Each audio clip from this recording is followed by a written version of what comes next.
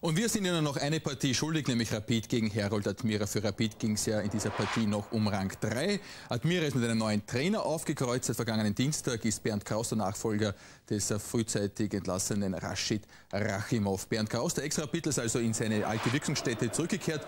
Dort, wo er zum Beispiel unter anderem 1982 mit Pepe Hickersberger, mit dem Rapid-Trainer, Meister geworden ist. Herr Kraus hat auch 22 Mal in der österreichischen Nationalmannschaft gespielt, bestritt 1982 alle WM-Spiele Österreichs und zuletzt war er eben Trainer von Aris Saloniki.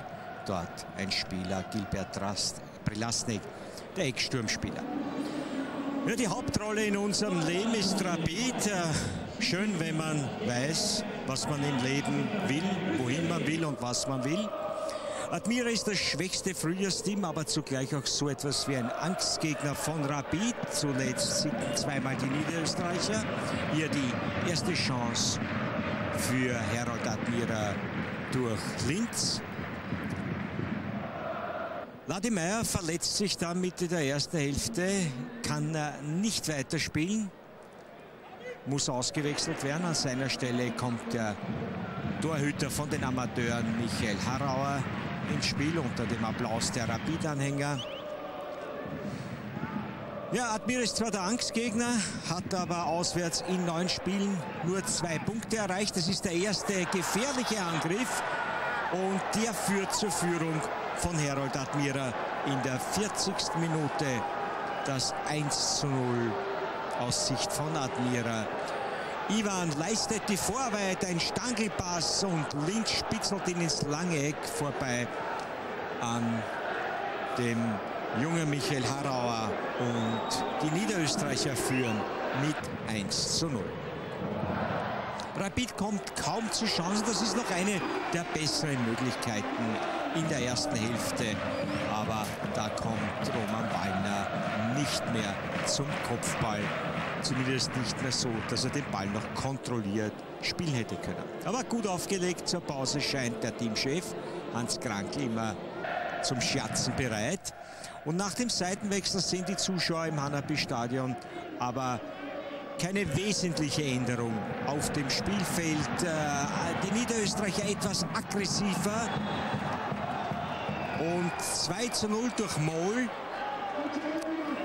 Junger Spieler, ein Ungar von Ferenc Varos gekommen, ist seit einem Jahr im Leistungszentrum Vorweit von Linz. Und Moll bringt die Niederösterreicher mit 2 zu 0 in Führung. Spiel aber eher gesamt gesehen auf äh, bescheidenem Niveau. Man kann es der Mine von Pepe Hickesberger entnehmen. Grund zur Freude hat er aus seiner Sicht jedenfalls nicht. Wallner. Und eine Einzelaktion, die er mit einem guten Schuss abschließt. Aber man hat das Gefühl, dass bei Rapid die Luft heraus ist. Lettwan. Ivan. Ortner, keine Abseitsstelle. Ortner löst sich und Tor. 3 zu 0 in der 64. Minute. Ja, der Einstand, der passt für Bernd Kraus. Ivan keine Abseitsstellung, die wurde in der Mitte aufgehoben und der satte Schuss zum dritten Tor der Niederösterreicher. Und eine weitere Möglichkeit für Linz. Also Sie sehen es an diesem Zusammenschnitt, die Chancen, die hat äh, Herold Admira. Rapid äh, spielt mit zu wenig Engagement, mit zu wenig Biss.